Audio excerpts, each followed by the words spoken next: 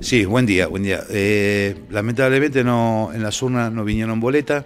¿En todo Moreno? En casi todo Moreno, muy poco Moreno vino con boleta a las urnas. No sé si hubo un problema en la Junta Electoral, algo, pero vinieron todas las urnas eh, vacías de boleta de Unión con Fe. ¿Ustedes presentaron en tiempo y forma en el correo? Sí, fue un viernes a la, no me acuerdo la fecha exacta del viernes, pero era un viernes hasta las 2 de la tarde. Tenía que estar en La Plata con las boletas para que la Junta lo recibiera y estuvo fecha informa. Así que no sé cuál es el motivo por la cual no llegaron las boletas en las urnas. ¿Cómo lo están reemplazando?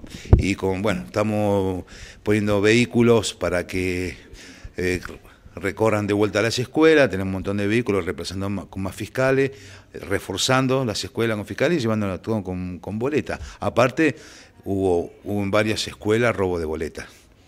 ¿Cómo desaparecen directamente o las cortan? Desaparecen directamente las boletas. Estamos reponiendo, sí, sí, sí. Tenemos, contamos con gente para ese trabajo, ¿no es cierto? ¿Lograron fiscalizar todas las escuelas de Moreno? Sí, sí. Estamos en todas las escuelas, estamos presentes, en todas las escuelas.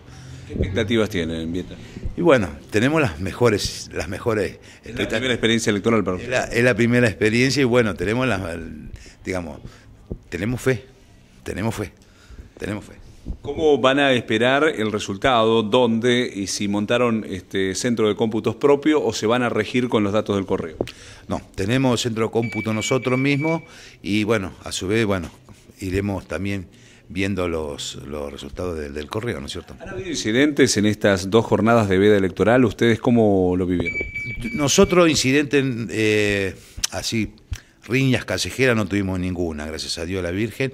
Lo único que tuvimos que nos robaron todos los carteles, nos robaron el cartel que teníamos edificando local, todo eso, nos robaron, sí.